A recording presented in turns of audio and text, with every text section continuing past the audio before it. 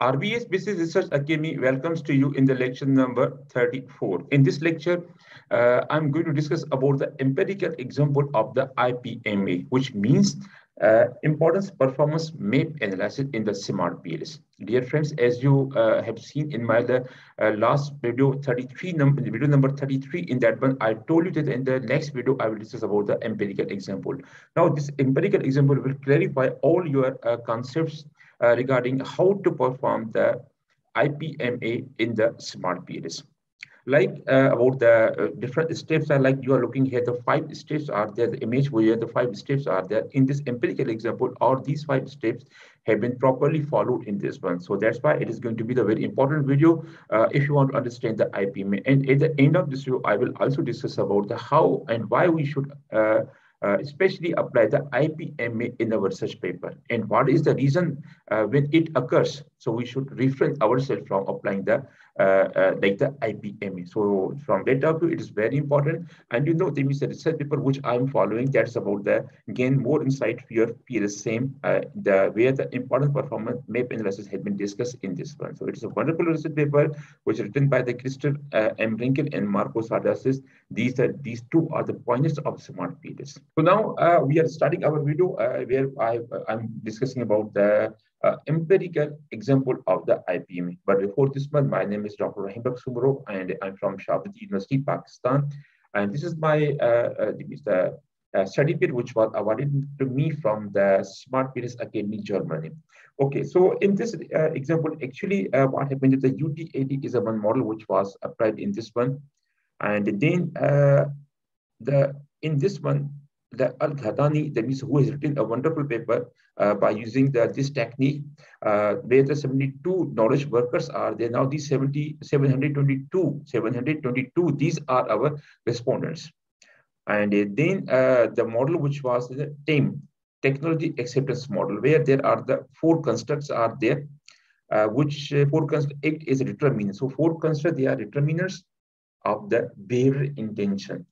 And then uh, among them, like the first one is uh, a job expect effort expectancy and the subjective norm, and another one is a, a facilitating computer conditions. So the facilitating conditions. So these are some of them.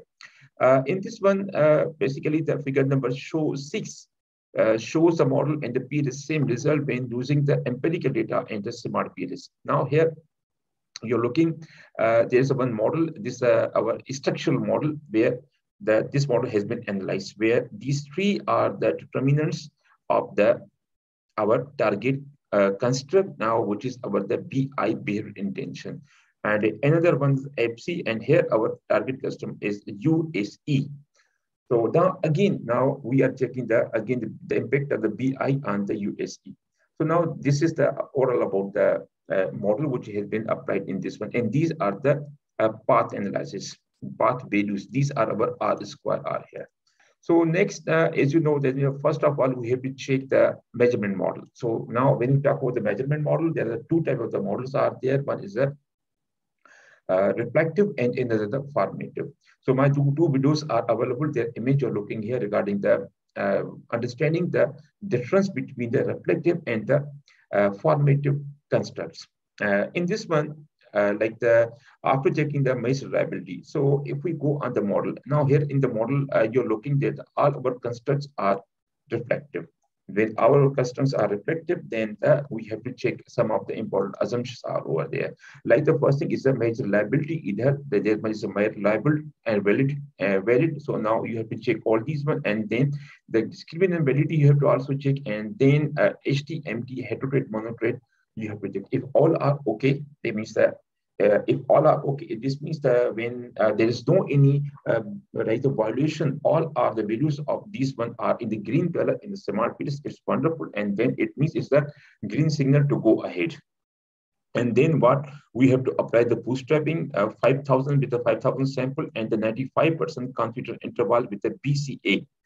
And it then shows that the, all the path indicators are significant. Now, after applying the bootstrapping method, we come to know that all the paths are significant and whether the, these PE, EE, and then the SN have a significant positive effect on the BE. So now structure model and measurement model, both we have applied here. And after that one, our first step is start. So first step is this one.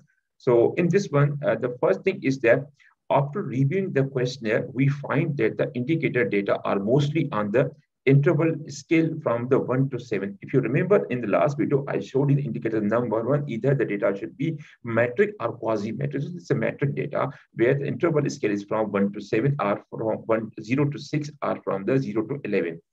Okay, and uh, another thing is about the do, do, do not need to reverse the scale up in indicator. There's no need to reverse anyone. So here, uh, another thing is uh, like and that uh, this is the like the UTAUT is your uh, name is the name of the project. This is a graphical model, and these are the 722 records are there which we are applying in this one. So this is overall about the uh, your model. So and then if we come down now. We inspect the outer bits. So now we have to inspect the outer, either outer bits are positive or negative. Now, what decision rule? Decision rule here is that the uh, all indicators are positive. So in this one, in this model, all our indicators are positive. Outer bits, sorry, all our outer bits are positive. So when all our uh, uh, outer bits are positive, then what? Then the uh, this is uh, uh, like the different color because it's very important. So that's why I have changed its color. Otherwise, rest of things are in the uh, yellow color. In line with the IPMA standard one, all requirements for conducting the analysis have been fulfilled and we can continue the analysis. So now uh, in the step number one, whatever the requirements were there, we have successfully fulfilled all those one. Now it's a green signal to go to go ahead. And one major uh, uh, the uh, benchmark or requirement was uh, outweights should be positive. So all should, uh, outweights are positive. Now, how to apply uh, this uh, tech, uh, this uh, procedure in the semantics? Now we have to go into the calculate and find the importance performance mapping. You're looking image here in this way, you have to find out this one. And then uh, we need to specify the target construct. So here we have to specify as a target construct and others as a procedures. Okay, so now uh, then we said in talk about the procedures, only direct are direct, indirect, both one we have to decide here. And uh, in this one, the USE is our target construct. Okay, and then choose the all the uh, procedures the selected construct as options. Okay, uh, we need to specify the each indicators minimum and maximum value required for rescaling of the data. So now minimum maximum value we have to specify over there. Now, for example, one and seven, zero and six, like these are our minimum. We have to specify all these one in the uh, smart PLS in this procedure. So smart PLS automatically reads these minimum maximum values of the data. How I'm I'm showing you this one. So now uh, this is the table where we are finding uh, all these one uh, like here minimum and maximum. You're looking here are automatically have been reported to you, uh, reported by the uh, smart PLS to you. Now, in this, when you're looking, no anyone is the out of the range. Now, all the values are either, uh, if the range is 1 to 7, all are within this range. If the range is uh, 0 to 6, all are within the one. If the range is a 0 to 11, all are within the range. So now, from this point of view, there is no, uh, there is no any violation. And then another thing about the if the respondents have not made use of the full scale, uh, then the minimum value 2 instead of the 1. When the minimum value is 1, but the respondent, they have chosen the only, that means uh, 2 and above, not the 1. So in this regard, what the PLS, same smart PLS cannot rescale the data. Smart PLS cannot rescale data. In this, what will happen, that our result will not remain within the 0 to 100, but it will remain within the minus 5 to 95. So now what that we need to manually rescale the limit. So now manually we have to rescale all these. But how we can uh, manually rescale? I'm showing you the same thing also here. Uh, in this one, you're looking at the maximum and the minimum. So now here is a maximum and minimum. If your minimum is one uh, is a two and maximum is seven, then you should specify rescale it, uh, not a two but one. Provide his right hit one. Okay, and for example, if the one and six actually the maximum bar, the seven. So in this one, again, you have to change from the six to seven. So this is the manual rescaling. And uh, then uh, you are looking here, all the all the uh, respondent made the use of the full range of the indicator skill is in uh, indicated in the maximum. As I already told you, the all the uh, means the respondent they have chosen the within the uh, within the range, like the uh, minimum and maximum have been chosen over there. So that's why there is no problem the rescaling here. And then another thing is about the smart meter skin automatically computes the IPMA state number two and three have been automatically covered. So now the now applying the IPMA, so now in this one, step two and step zero have been fulfilled, have been completed. So now so far we have covered the three steps, one, two, and three. Now here we're talking about step number three. Uh, it, it, it, means that that creates the importance performance map. Now step number four, as you know, it is creating the uh, map. Uh, in this one, what uh, is there? Uh, okay, here. It shows the results of the standardized, unstandardized path coefficient okay? Path coefficient it shows over there in the result. And the quality criteria uh, uh, ip may may uh, under the uh, used construct. So here you're looking at one image. That means where the hyperlink is given under the quality uh, criteria. And if you choose this one then it will lead you towards the uh, use uh, like the that map. And then in the like the final results, total effects, smart display the importance of the values in the uh, matrix format. So in the matrix form, all those are given to you. I'm showing you these matrix forms. And then uh, uh, another thing is about the, we find the two direct precedents, direct precedents, I mean not indirect, BI, behavior image, and FC have a particularly high importance, although the performing uh, at the, like the comparable level, the FC construct has considerably high performance than the BI. How? And that means we are looking, uh, we are going towards the figure number 10. So now, okay, here's the figure number 10. So now we have, I think we have to rotate it. So now this has, the figure has been rotated over here and you're looking here that the, this our BE, no, uh, but this one, okay. So now BE is in the red color. Uh, okay, this one is a B in the red color and the EE in, is the uh, blue color. So now these are there. So now uh, from the important performance point, it is a wonderful performance. From the importance point of it's a like the so-so importance. Now, uh, because we have not mentioned, uh, we have not determined the uh, mean over there, mean of the performance and mean of the importance. So that's why we can roughly say about this one. And when you talk about the BI, it's uh, the wonderful, uh, means the performance as well as the uh, importance also. So now this type of the map will be created when you apply uh, the IPMAP procedure. So now we are going back uh, displaying the R square values of the endogenous latent variable. Now in the path model, IPMA result shows the performance values of each latent variable. So here, this procedure does not provide you the R square, but it provides you the performance values of the each latent variable. And then uh, this is another one, the IPMA results shows the unstandardized and the rescale outer weights for the measurement model, regardless if they are formative or uh, reflective. So either your scale are uh, like the constant of formative or reflective, no problem. But here unstandardized, unstandardized coefficient will be given to you and the outer. So now the, to decide outer are very important. And then uh, here looking at the, the, okay, this one, the uh, quality criteria, importance of MAP, uh, you, if you click this one, then we will reach in this like the EE2.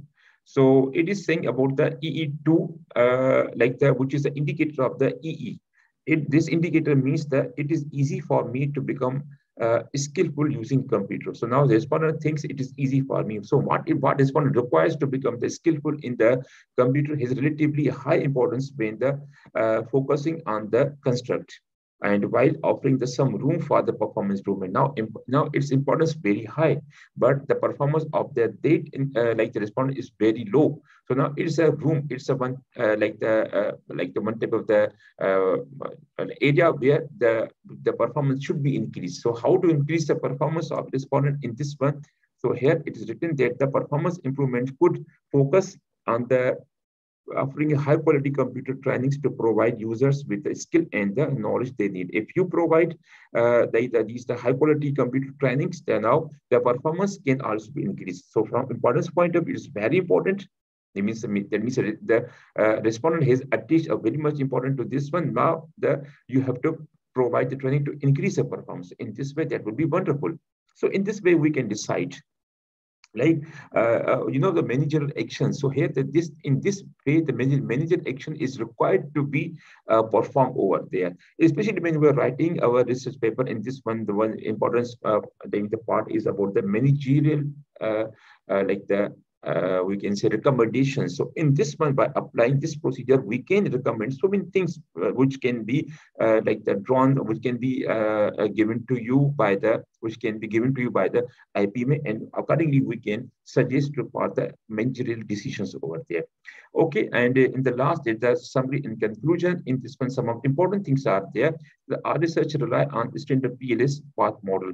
Now here we talk about the mostly the researcher what they do, they apply the measurement model and structure model, and then they finish the data analysis in the smart PLS. But they do not focus on the CTA confirmatory tetrad analysis. By the way, my two videos are available on the confirmatory tetrad analysis and their video, uh, their image you are images you are looking here. And then the FIMIX is uh, like the uh, another one uh, the means of which we do not normally, and the PLS, is another one, and the moderator, uh, like, and then the multi-group analysis. We normally do not uh, focus on these one. Again, these are very important, like the IPMA is now, is now you have realized the importance of the IPMA. And uh, then uh, furthermore, it is written that the IPMA belongs to the suite of open limited methods. So now it's openly, the means uh, researcher, they neglect this method, but are particularly useful for generating the additional findings and conclusions. So, so some of the finding conclusions have been uh, uh, uh, found with the help of the path model. And additionally, if you want to get more finding conclusion, then it is necessary to apply IPMA over there. And then uh, by combining the analysis of the IPMA uh, uh, like the performance in, uh, allows you to for prioritizing the construct to improve the certain target customer. So in this way, you can know the means which my construct needs uh, more importance or more performance or which construct is low and it needs I mean, so now there's a room to improve the performance of that construct. This can be done through this help, uh, through the IPMA. And then another things about the Expanding the analysis to the indicator level allows for identifying the most important area of specific. So not only you can apply this procedure on the construct level, but also on indicator level. So then uh, now the these results are, for example, particularly important in the studies researching on different impact of certain constructs. So now different constructs are there, like the different dimensions of the construct are there, like the personality, which has the five dimensions, and like the 10 technology acceptance model, which has a certain uh, dimensions, corporate reputation has a certain dimension. And then, you know, there's a customer uh, has also certain dimension. In this, uh, if you are working on such of the model, then it is advised to you that you should use the IPMA over there to find out the which one the performance is very is good or which perform is uh, not good. And another extension of IPMA use is in the context of multi-group. When you are performing the multi-group analysis, then it is again advised that you should use, I think, IPMA. And last but not least, uh, uh, which is the decision making, like the one step, uh, like the decision making um, maker like the that the researchers should refrain from using the IPMA if the analysis does not meet the requirements mentioned in the first step. So whatever requirements are in the first step, if you are not meeting, so it is always suggested not to apply this procedure. And such is having the only positive outer weights. And, and now, if the positive outer weights are, then okay, that's the, you can apply the IPMA. Again, if the outer weights are negative, then it is suggested not to apply IPMA procedure in this one. So in this one, our this uh, example has been concluded, has been completed, and uh, I hope uh, that uh, this example has clarified your different concepts uh, regarding the five steps of the IPMA uh, in the uh, like the in smart meter software. In the video lecture number 35, practically I have done how to analyze or how to apply uh, this procedure of the IPMA in the smart meters. If you find time, please pause that video also. So at the end, thank you very much for uh, watching this video uh, completely. In, and very soon we will meet in the in another video. Thank you very much.